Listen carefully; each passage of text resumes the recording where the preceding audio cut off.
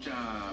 ¿cómo le diría yo? Hay mucha duda de que en realidad se pueda concretar algo así eh, en el contexto que ustedes mismos han venido denunciando, ¿no? En cuanto a que los poderes del Estado están tomados por el oficialismo, en fin, que hay encubrimiento de parte y parte. En, en, otros muchos casos, no estoy hablando de este caso en particular, sino en otros muchos casos, así lo ha denunciado la misma oposición. Para muchos es ingenuo pensar que van a obtener algún resultado, pero vamos a suponer que ocurra. ¿Cuándo estarían ustedes entregándole este cuestionario o enviándole este cuestionario o haciendo esta citación tanto a la primera dama Silvia Flores como a Diosdado Cabello? Este, ¿Es antes de que termine el año? Bueno, mira, el, el próximo martes es la segunda sesión de esta comisión. Allí vamos a fijar un cronograma de comparecencia que incluye a los dos diputados,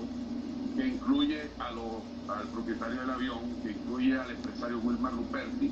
eh, quien no solo pagó 20 millones de dólares por los honorarios, sino que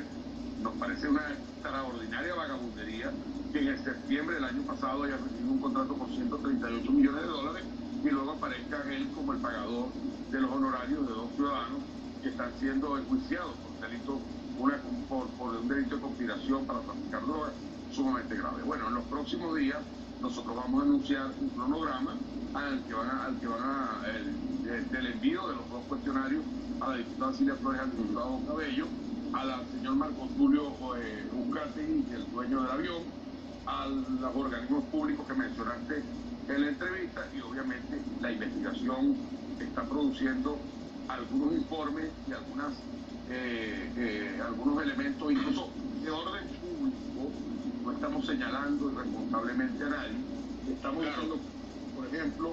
que eh, dos exfuncionarios del Ministerio de Finanzas Tulio, Tulio, Hernández y Gabriel Gil vaya fueron fueron participaron en el tema de la, de la ley capital en Andorra, estamos diciendo